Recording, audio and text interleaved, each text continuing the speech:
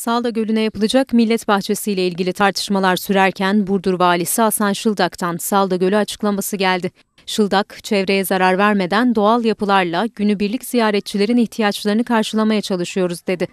Salda Gölü'nde yapılan bütün düzenlemelerin de ben her konuşmamda ifade ettiğim gibi çevreye son derece duyarlı, çevre kirliliği önlemeye yönelik ama aynı zamanda bu bölgede turizmin gerektirdiği hizmetleri de günübirlik hizmetleri de vermeye yönelik olduğunu ifade etmek istiyorum.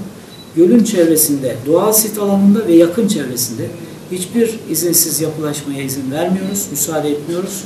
Bütün projelendirdiğimiz alanlardaki çalışmaları da doğaya ve çevreye saygılı malzemelerden ve çevre kirliliği oluşturmayacak bir anlayışla uygulamaya geçiriyoruz. Salda Gölü'ne yıl sonuna kadar 1 milyon ziyaretçi bekleniyor.